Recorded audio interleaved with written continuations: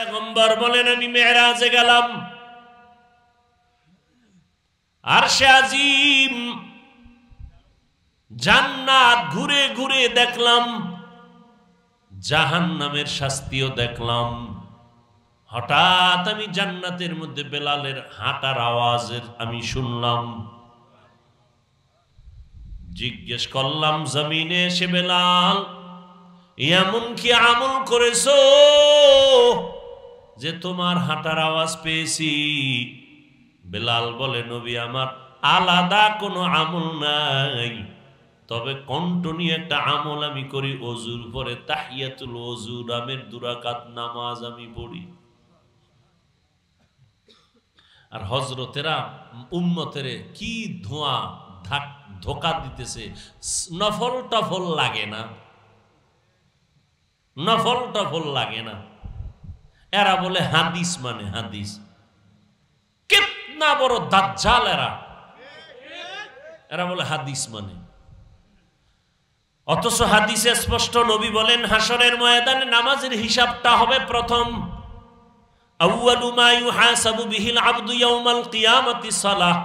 নামাজের হিসাব হবে প্রথম।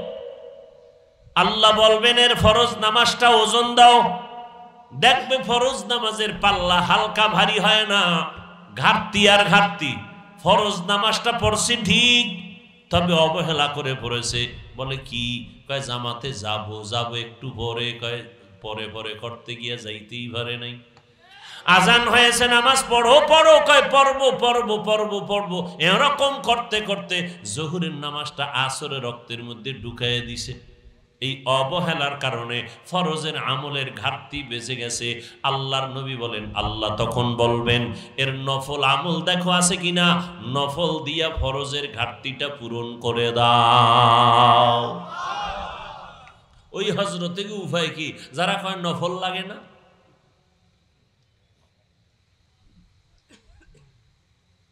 আল্লাহ হেদায়াত দান করুন। এমনি নাচনেওয়ালা বুড়ি আরও যদি পায় ঢোলের বাড়ি মানুষ এমনি আমল করতে চায় না। এদেরকে যদি আরও নিরুৎসাহিত করা হয় আমল সম্পর্কে? ছয় তাকবির দিতে পারে না ঈদের নামাজে। হে, বারো তাকবির এটা না চিন্তা করছেন প্যাস কেমনে লাগায় রাখছে? জানা যায় খারাইয়া ঈদের নামাজ পিরালায় রুকু দিয়া ফালাইছে, সেজদা দিয়া ফালাবে ফালাবে ভাব এর মধ্যে প্যাস লাগাইছে আলহামদু হরো। এতদিন আলহামদুর নাম আসিল না, এখন আলহামদু পড়ো। আসতে সে সামনে কোরবানি। লাগাইবে হ্যাঁ নো প্যাস কি? আকিকার কোনো অংশ নেওয়া যাবে না কোরবানির সাথে। মনে হয় আমগো দেশের যত আলেমোলামা সব গাঞ্জা খেয়ে বেউস হয়ে গেছে, নতুন তারা ইসলাম নিয়ে আবির্ভূত হয়েছে। ওই দেওয়ানবাগি যেরকম বলছিল, মোহাম্মদ ইসলাম মইরা গেছে, আমি চিন্তা করছি। এদের হালাতটাও কেমন যেন তেমন তেমন। আবু হানিফারে জমা দেয় না। আবু হানিফার নাম নাই। ওমরে ফারুককে বলতেছে রসুলের সাহাবি, তাকে বলে সে নাকি বেদাতি ভণ্ড। কি পরিমাণ বেয়াদব হইলে হজরত ওমরের বিরোধিতা করে সাহাবা একরামের বিরুদ্ধে যারা কথা বলবে তারা বেয়াদব। সাহাবা একরামদের বিরুদ্ধে যারা কলম ধরবে তারা চূড়ান্ত ইসলামের দুশ্মন, রসুলের দুশ্মন, জাহান্নামী বাহাত্তর দলের অন্তর্ভুক্ত। আবার লাইভে আইসা হজরত কয়, সাহাবা একরামদেরকে সত্যের মাপকাঠি মানা যাবে না।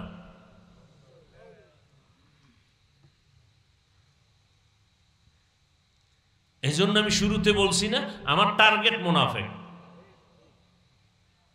কারণ কাফেরদের সাথে সমাজে চলার অনুমতি আছে, মুনাফেকের সাথে চলার অনুমতি নেই।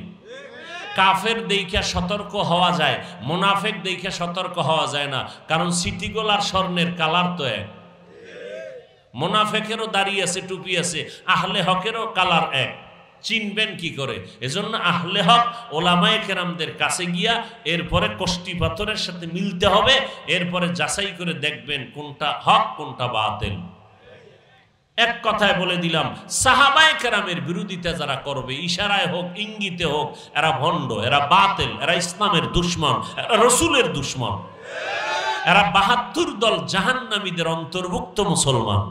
মুসলমান ঠিক, তবে জাহান্নামী বাহাত্তর দলের অন্তর্ভুক্ত। কোন বেইমানের বাচ্চা দাঁড়ায় বলে নাই, ওমর ওমর ভণ্ড।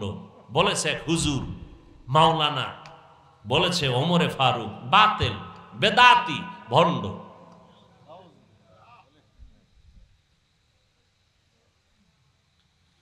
হায় হায় হায় হায়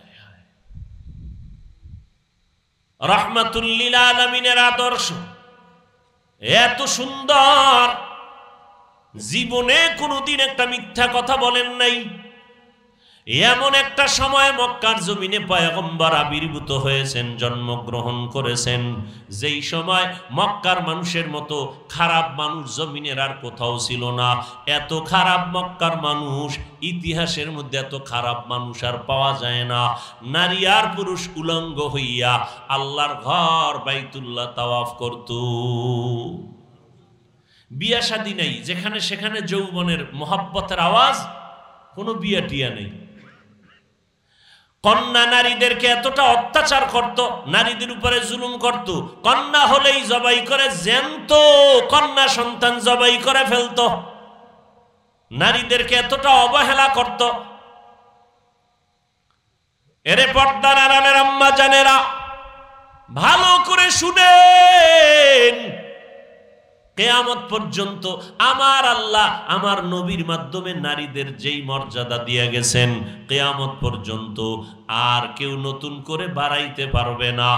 যারা চালাকি করিয়া নিজেদের থেকে কিছু ফর্মুলা তৈরি করবে, আল্লাহর কসম একবার, আল্লাহর কসম দুইবার, আল্লাহর কসম তিনবার, অল্লাহি বিল্লাহি তাল্লাহি, নারীর সম্মান হবে না, হতে হবে অপমান। মোবাইল যিনি বানাইছেন, মোবাইলটা কেমনে চালাইবেন? প্যাকেটের মধ্যে একটা ক্যাটালগ দিয়ে দিছেন। এই সিস্টেমে চালাও, তাহলে সুস্থ থাকবে দীর্ঘদিন। গাড়িওয়ালা গাড়ি বানাইয়া ক্যাটালগ দিছেন, যে এই গাড়িটা রাস্তায় এত মিটারে চালাইও, এইভাবে চালাও, গাড়ি সুস্থ থাকবে পার্স সুস্থ থাকবে, এভাবে চালাও। তুমি মন করা যদি কোনো আমি ফানির ভিতরে চালাও, তো তোমারও শেষ জীবন, গাড়িও শেষ। আল্লাহ মানুষ বানাইছেন, মানুষের জীবন কীভাবে পরিচালনা করলে সম্মানের সাথে চলবে? আল্লাহ কোরআন নামের ক্যাটালগ দিছে, চালাকি করবি, দুনিয়াও বরবাদ, আখেরাতও বরবাদ। কোরআন নামের ক্যাটালগ ধরো, এত মহামারী করোনা গেল, তাকাইয়া দেখছ? বড় বড় বড় বড় মাস্তানগুলো, যারা চেয়ারে বয়ে ভাবতো আমরা খোদা করোনা আসার পরে মাথা নত করে বলে, জমিনের পাওয়ার শেষ। আমি পাওয়ার লেস হয়ে গেছি। আমার পাওয়ার ফিউজ হয়ে গেছে। মাদ্রাসা, এই সারা দুনিয়ার ব্যবসায়ীদের ব্যবসা বন্ধ। চাকুরি শেষ! লেখাপড়া করেনেওয়ালাদের কলেজ, তালা, স্কুল বন্ধ। ফাঁকে ফাঁকে আওয়াজ, ঘুমের ভিতরে কি অটোপাস। এরম যদি দশ বছর থাকতো এমবিবিএস ডাক্তার হয়ে যেতি ধাক্কা দিয়া চেয়ারে বয়ে করতে, বলতি চ্যালেঞ্জ রুগী বাঁচাইতে না পারল, বিসমিল্লা সারা মাইরালো মায়ু কিন্তু যুবকেরা ইতিহাস লিখে রাখো। এত করোনা, এত কিছু! সোনার বাংলায় একটা মাদ্রাসা বন্ধ হয়নি। কোন হুজুর কোথাও গিয়ে হাত পিছায় বলেনি, আমার ছেলেরা না খাইয়াছে, টাকা দাও, ভিক্ষা দাও। আর কে দেখতে চাও সম্মান? টাকা দিয়ে সম্মান কিনা যায় না, সম্মান দেওয়ার মালিক টাকা দিয়ে কিছুদিনের জন্য কিনা যায়, কিন্তু ওই সম্মানের পিছনে আছে জুতা। চেয়ারম্যান সাহেবের চেয়ারের মেয়াদ আছে না নেই? এমপি সাহেবের চেয়ারের মেয়াদ আছে। কিন্তু কোরআনওয়ালা আল্লাহর কোরআনের দ্বারা যেই সম্মানের চেয়ার দিছেন, এই চেয়ারের কোনো মেয়াদ বয়স বাড়বে, মেয়াদ বাড়বে, সম্মান বাড়বে। এই জন্য পায়গম্বরের সাহাবি হজরত আলী রদিয়াল্লাহু তালান কেশে আলী নবীর সাহাবি? মাত্র দশ বছর বয়সে দৌড়াইয়া নবীর হাতে হাত লাগাইয়া দাওয়াত কবুল করলেন, মুসলমান হয়ে গেলেন। কয় বছর? আর আপনার পঁয়তাল্লিশ, পঞ্চাশ, ষাট বছর হয়ে গেল। এত বয়ান এত বয়ান। পীর সাহেবের বয়ান আমাদের, পাও দৈরা দৈরা বয়ান করি। একটা গালিও দেই না। হিন্দুদের বিরুদ্ধে বলি না এহুদির বিরুদ্ধে বলি না। পাঁচকল্লি টুপি মাথায় দিয়া বয়ান করি। যারা টুপি মাথায় দেন, একবারও গালি দেই না। দেখা হলে আগে সালাম দেওয়ার চেষ্টা করি।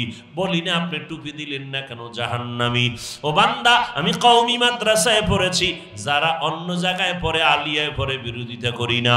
স্কুল, কলেজের বিরুদ্ধে বলি না। দেখলে সালাম দেওয়ার চেষ্টা করি।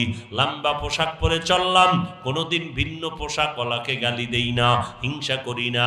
পায়ে ধরে ধরে বিনয়ের সাথে বয়ান করি, বুঝাবার চেষ্টা করি রে বাবা। এই রকম বয়ান বারোটা মাস ফজরের পরে, জোহরের পরে, আসরের পরে, মাগরিবের পরে, এশার পরে, সারা রাত বয়ান। এই বারো মাস বয়ানের পরেও মুসলমানের দাড়িটা লম্বা হয় না, নামাজ ঠিক মতো পড়ে না, পর্দা করে না মা বাবার খেদমত করে না, অন্যের হক ঠিক মতো আদায় করে না ভাই বোনের হক মেরে খায়। এভাবে আছে না নাই? সব জায়গায় এত বয়ান, এত বয়ানের পরও কেন পরিবর্তন নাই? অথচ পুরা বছর না, মাত্র ছয়টা মাঠ যদি আমাকে কোনো হিন্দু পাড়ায় পাঠাইয়া দিতা, আমি দৈনিক এক ঘণ্টা করে যদি বয়ান করতাম, আল্লাহর উপরে ভরসা করে বলি, ওই হিন্দুরা কান্না করিয়া আমার মদিনাওয়ালা নবীর অন্ধ আশেক হয়ে যাইত। করি না! জীবনেও করি না, এরপরও কত বিধর্মীরা মুসলমান হচ্ছে।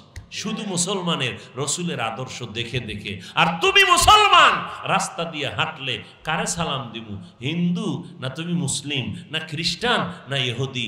তোমাকে পরিপূর্ণ বস্ত্রহীন না করলে পরিচয় পাওয়া যায় না, তুমি কে?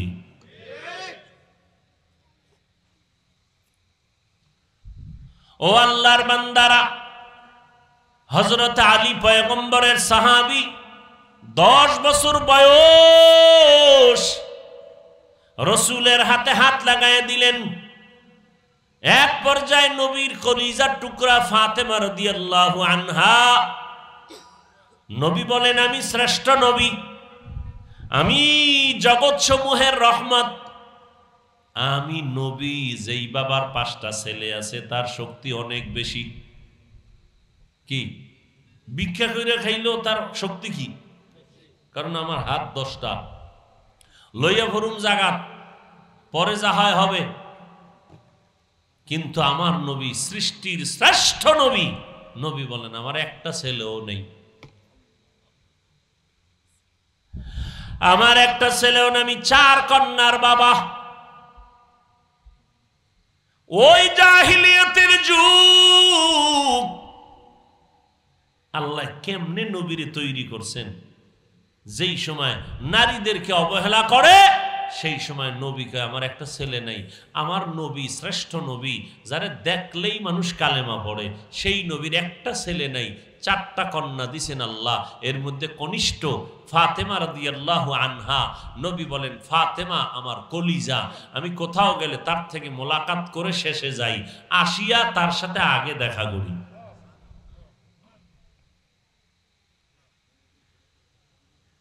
আল্লাহ পাক নবীকে একটা ছেলেও দিলেন না। সেই ফাতেমা হজরত আলীর স্ত্রী হয়ে গেলেন। আল্লাহ নবী একদিন আলীর জন্য দোয়া করলেন, আনা দারুল হিকমা ও আলিউন বাবুহা। আমি হলাম হেকমতের ঘর। আর আমার এই হেকমতের ঘরের দরজা হলো আমার আলী। আল্লাহ আলীর এত জ্ঞান দান করেছেন, এত এলেম দান করেছেন হজরত আলীর। একদিন শকর আদায় করেন আল্লাহ। সম্মানের চেয়ারে বসতে হলে দুইটা পুঁজির একটা লাগবে, হয়তো টাকা, না হয় জ্ঞান, শিক্ষা। ও আল্লাহ, তুমি আমাকে এলেম দিয়েছ, টাকা দাও নাই তোমার দরবারে। হাজার শকর, রাজি না কিস জব্বার ফিনা। لنا علم وللأعداء مال فإن الماء ليفني عن قريبي وإن العلم باقٍ لا يزال. علم رائع جاز كردا بحساب خلق رادا جواب بسواب. হজরত আলী আল্লাহর কাছে দোয়া করেন, আল্লাহ আমাদের এলেম দিয়েছেন, জ্ঞান দিয়েছেন, শিক্ষা দিয়েছেন টাকা পয়সা দেন নাই, শুকর আদায় করি, কারণ টাকাওয়ালার টাকা আজ আছে, কাল থাকবে না। আর এলিমওয়ালার এলিম যখন সিনায় ঢুকবে আর বিদায় হবে না। টাকাওয়ালার যত টাকা বাড়বে, তত দুশ্মন বাড়বে। আর এলেমওয়ালার যত এলেম বাড়বে, তত বন্ধু বাড়বে। ঠিক নি? টাকাওয়ালা যত বয়স বাড়বে, সবার ঘৃণা বাড়বে। আর এলেমওয়ালার যত বয়স বাড়বে, সবার ভালোবাসাও বাড়বে। বাবায় বুড়া হয়ে গেছে, টাকাওয়ালা স্ত্রী পর্যন্ত পছন্দ করে না ছেলে মেয়েরা পছন্দ করে না। এই বাবায় তাড়াতাড়ি মরে না কেন? মরলেই তো জমিন ভাগ বাটোয়ারা করে নিব, ফ্ল্যাট আমরা ভাগ করে নিয়ে যাব। টাকা পয়সাওয়ালার বয়স বেড়ে গেছে, সবাই এখন ঘৃণা করে, কেউ খেদমত করে না। আর এলেমওয়ালা, বয়স বেড়েছে, বড় বড় আলেম দাঁড়ায় থাকে তার জুতা হাতে নেওয়ার জন্য। হাটহাজারের হুজুরের কত সম্মান। বাবুনগরীর কত সম্মান? এইরকম সব মুরব্বীদের সম্মান। কেন? কোরআনের এলেমের কারণ। আজ মুসলমান কোরআন পড়তে জানলা না। ও হাজি সাহ ছেলেরে বিবাহ করাইবা।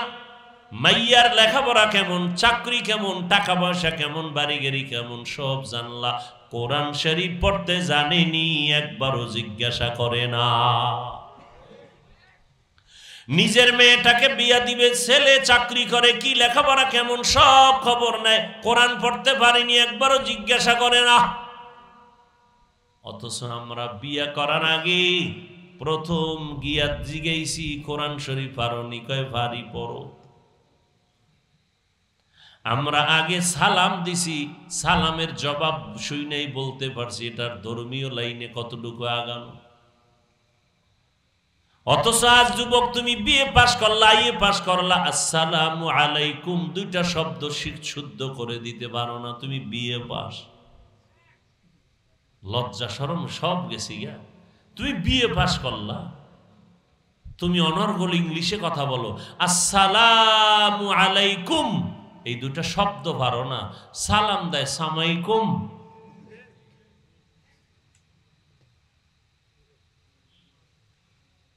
তার মানে তোমার উপরে আল্লাহর লানত, আল্লাহর গজব, সে আবার ঘুরায় খায় ও আলাইকুম তোমার উপরে আগে।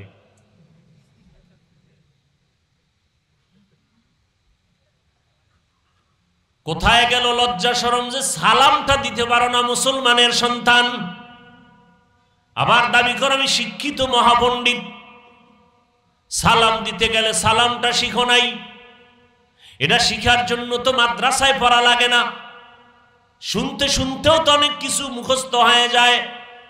ও যুব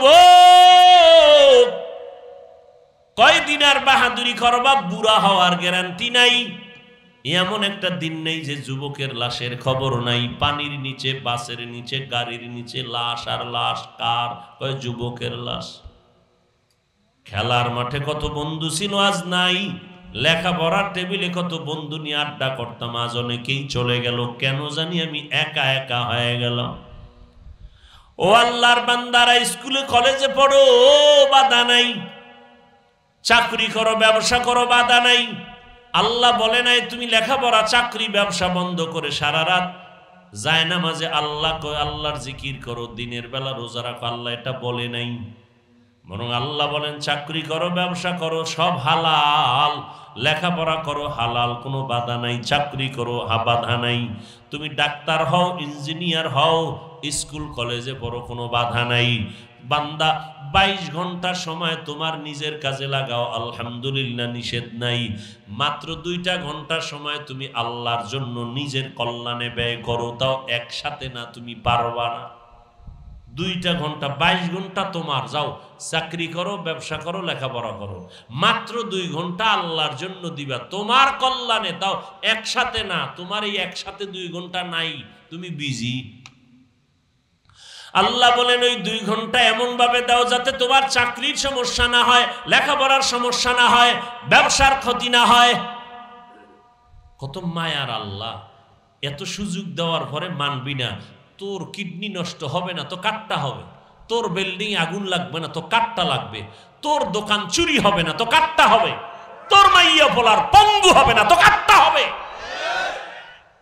বাইশ ঘণ্টা তোরে দিয়ে দিলাম, তুই ব্যবসা কর, চাকরি কর, লেখাপড়া কর।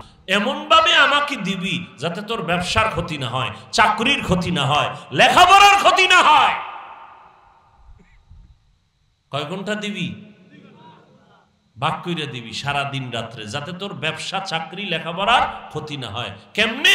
ফজরের সময় উঠবি, চার রাকাত নামাজে মাত্র বিশ মিনিট দিয়া আবার ঘুমা দোকানে যাবি আটটার সময়, দোকানদারি করিয়া যখন জহুর হয়ে যাবে, পেটে ক্ষুদা লাগছে, বাসায় যাবি। দোকান বন্ধ করে গোসল টোসল করে দশ রাকাত নামাজে আবার বিশ মিনিট।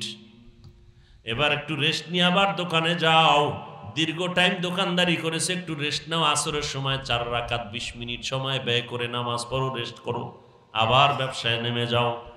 আবার মাগরিবের সময় পাঁচ রাকাত নামাজে বিশ মিনিট দাও, আবার তুমি ব্যবসায় চলে যাও। এসার সময় নয় রাকাত নামাজে বিশ মিনিট দিয়ে তুমি এবার ঘরে যাও। মাইয়ারে সময় দাও, ছেলেকে সময় দাও, স্ত্রীকে সময় দাও। এরপরে তুমি আরামে ঘুমাও। আরামে ঘুমায় যাও রাতটা দিলাম, ঘুম তোমার শরীরের জন্য মহা ঔষধ। ডাক্তারের কাছে গেলাম সেদিন, ওই ঔষধ দেন, মাথা গরম। করেন কি? ওয়াশ করি। ওয়াশ করেন, সিস্টেম যখন শুনছে, মাথায় হাত দিয়ে বয়ে রয়েছে। আপনি সারা রাত্র গাড়িতে থাকেন, ওয়াশ করেন, বারো মাস, এটা কথা হইল।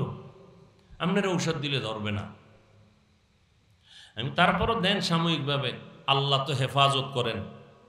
না হয় সারা রাত না ঘুমায় কোনো মানুষ, না ব্যবসা করতে পারে, না চাকরি করতে পারে। তা আল্লাহ আমাকে বানানোর সময় সিস্টেম করেই বানাইছি। আল্লাহ জানে আমি কি করব। না হয় সারাটা রাতের ঘুম বান্দার শরীরের ঔষধ। দিন ভোর যদি বারো ঘণ্টা কেউ ঘুমায়, সারা রাতের এক ঘণ্টার বরকতই বারো ঘন্টায় কোনো দিন পাবে না। রাতের একটা ঘণ্টা সারা দিনের বারো ঘন্টায় পাবে না। আমরা দিনের কাজে ঘুমাইতে পারি না। তুমি সারা রাত্র আকাম করো মোবাইল নিয়ে। ফজরের পরে তোমার চেহারার দিয়ে তাকাইলে একজন চক্ষসমান আল্লাহ তাকাইলেই বলতে পারবে, তুই রাত্রে কি পরিমাণ গুণা করেছ? তাদের কলবের চক্ষু খোলা।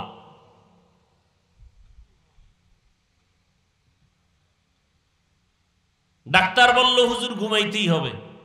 আমগো কথা তো আমরা বলবই। চিন্তা করি আল্লাহ যদি হেফাজত না করে, তো ঠাক জাগাত মরিয়া যাওয়ার কথা। চব্বিশ ঘণ্টা টুপি মাথায় রাখি। গোসলের টাইম ছাড়া টুপি মাথায়। ঘুমাইতে গেলেও টুপি মাথায় রেখে, এরপরে ঘুমাই। ঘুমের মধ্যে বালিশের পাশে পড়ে যায়, যা! আমার ওস্তাদ কইছে, ছোটবেলা টুপি মাথায় দিয়ে ঘুমাবি, আজরাইলা এসে যেন দেখে সুন্নত তোর মাথার সাথে। তোমাকে আমি কেমনে বুঝাবো? তুমি মুসলমানের বাচ্চা, আমিও মুসলমান ফকিন্নির বাচ্চা। অথচ আমি টুপি ছাড়তে লজ্জা পাই, তুমি টুপি দিতে লজ্জা পাও। তুমি কেমন মানুষ? আমি দাড়ি কাটতে লজ্জা পাই, তুমি দাড়ি রাখতে লজ্জা পাও, তুমি মুসলমান। তুমি, আমি নামাজ না পড়লে লজ্জা হয়, তোমার নামাজ পড়তে লজ্জা হয়, তুমি মুসলমান।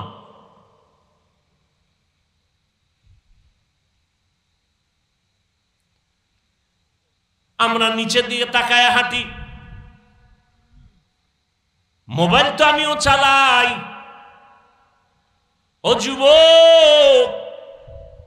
মরণের ভয় অন্তরে নাই। কত মানুষ ঘুমের ঘরে মারা যায়। যায় না?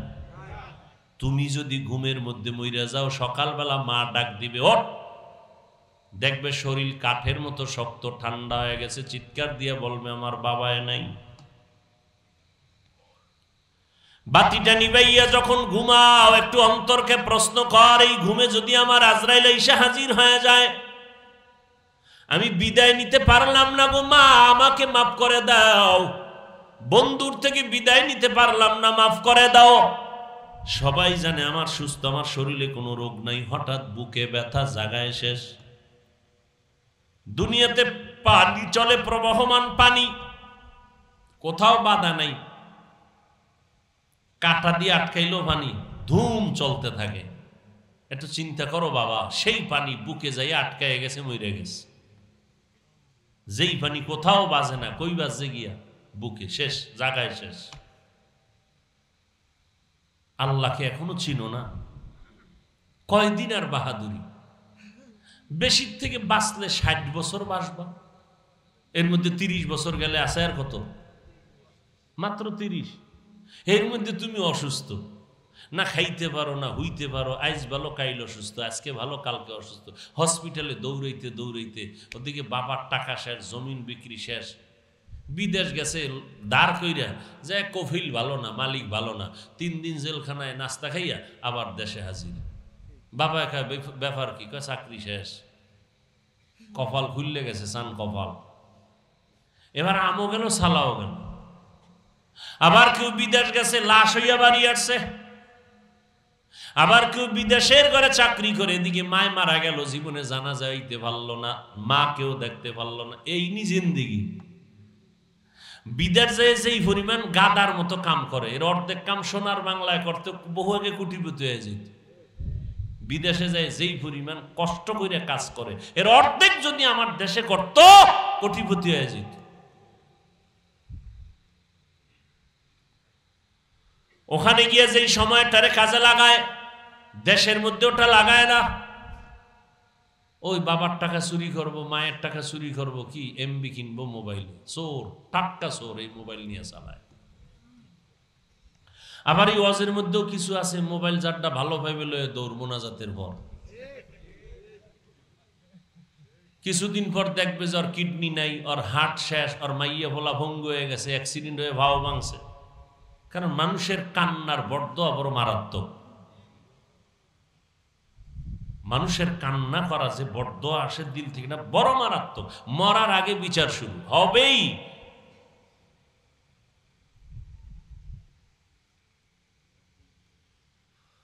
আল্লাহ তওবার দরজা খুলে দিছেন বান্দা আসো। দুই ঘণ্টা সময় দিলাম তোমার বাইশ ঘণ্টা তোমার দিলাম মাত্র দুই ঘণ্টা দিও পাঁচক্ত নামাজ।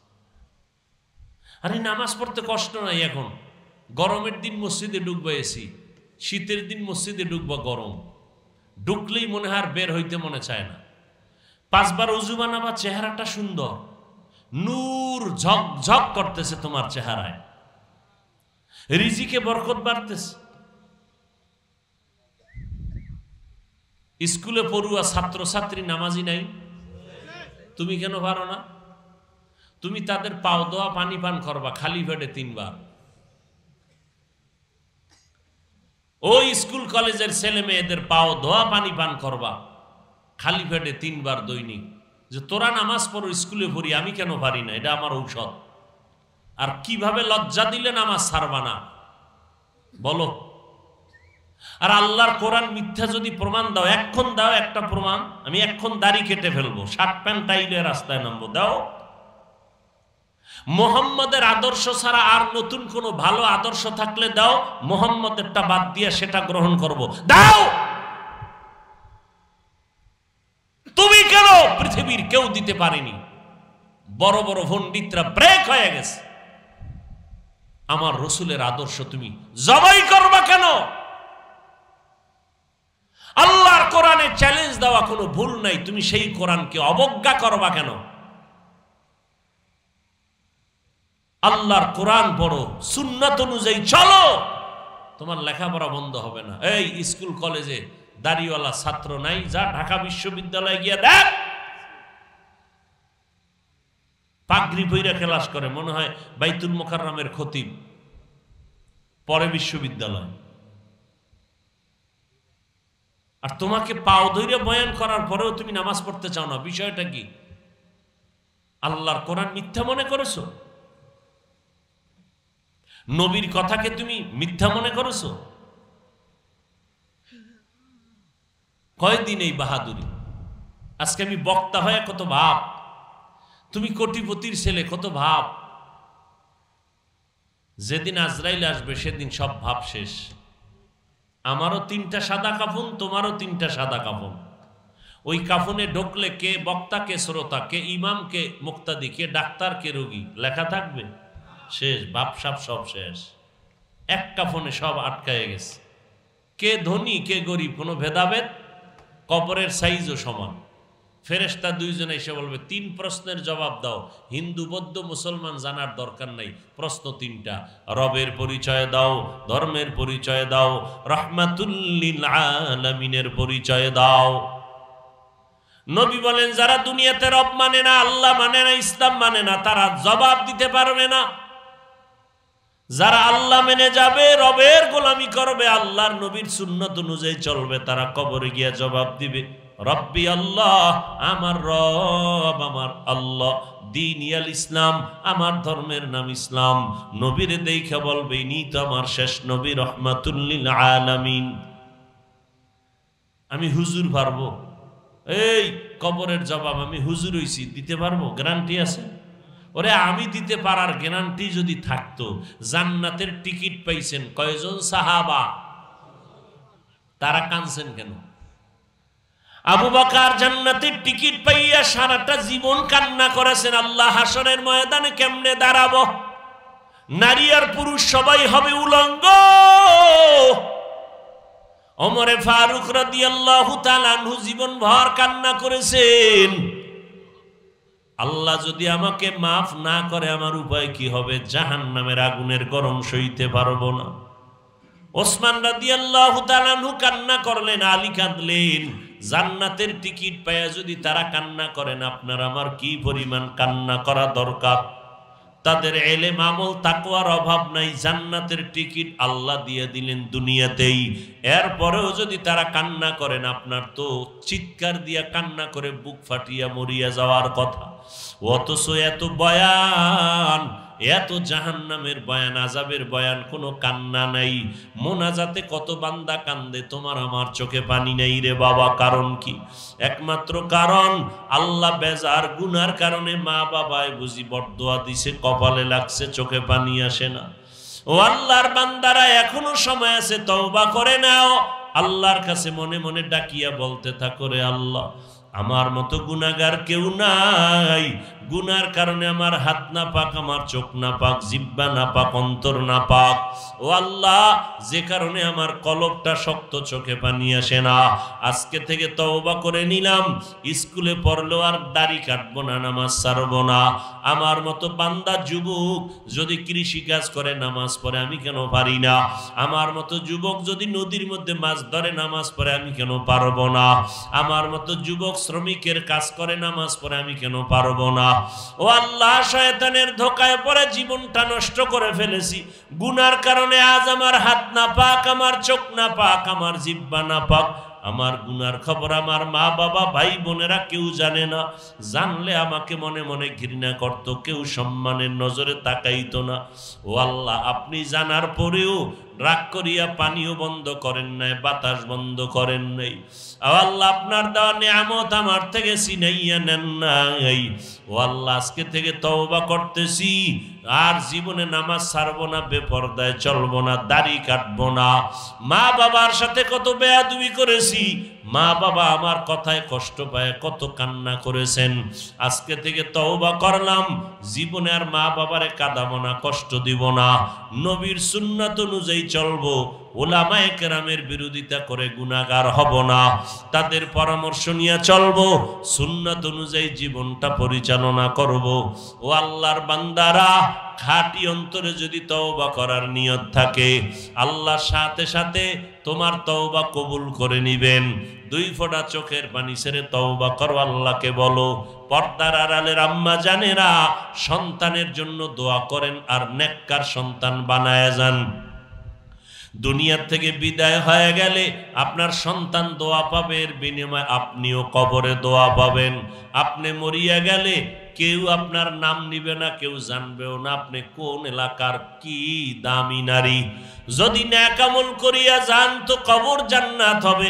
ভালো সন্তান নেককার ন্যাকামলওয়ালা ডাক্তার বানায় যাবেন, তবে আদর্শওয়ালা ডাক্তার, আদর্শ ইঞ্জিনিয়ার, আদর্শ প্রফেসর। যার ব্যবহারে আলেমরা খুশি হবে, যার ব্যবহারে এলাকার মুরব্বীরা খুশি হবে। যার ব্যবহারে তার বন্ধু বান্ধবেরা খুশি হবে। এমন একটা আদর্শমান নামাজি সন্তান যদি রেখে যান, এলাকার মানুষ দোয়া করবে, আলেমরা দোয়া করবে বরকত আপনিও কবরে পাইতে থাকবেন। আল্লাহর কাছে দোয়া করেন, স্বামীর খেদমত করেন, সন্তানগুলো নেককার বানান।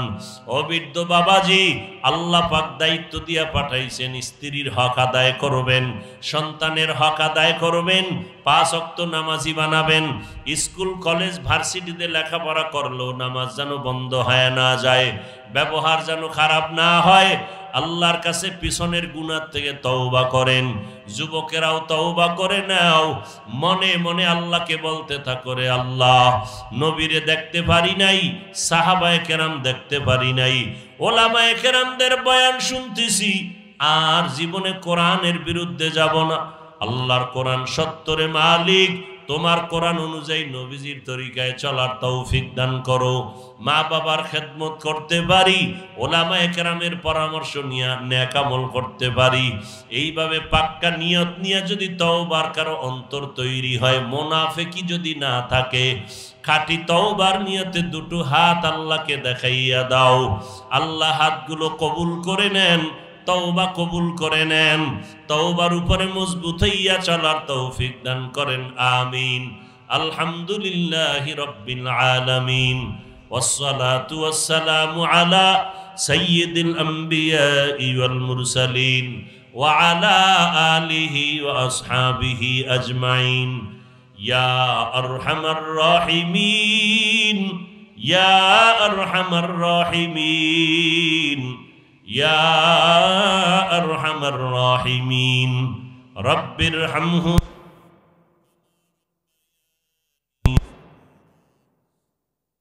اللهم إنك عفو كريم تحب العفو فاعف عنا اللهم إنا نعوذ بك من البرص والجنون والجزام وسيء الأسقام